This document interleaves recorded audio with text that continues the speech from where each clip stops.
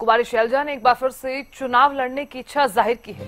कुमारी शैलजा विधानसभा चुनाव लड़ने की इच्छुक है। उन्होंने कहा मैंने पहले भी विधानसभा चुनाव लड़ने की बात कही थी लेकिन मेरी इच्छा एक तरफ़ और पार्टी के आदेश दूसरी तरफ़ है।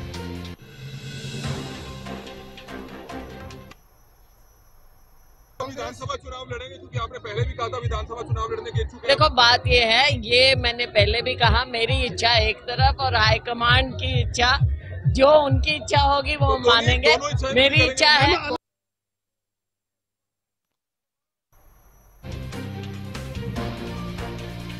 तो सुना आपने कुमारी शैलजा ने एक बार फिर से चुनाव लड़ने की जो इच्छा है वो ज़ाहिर कर दी है।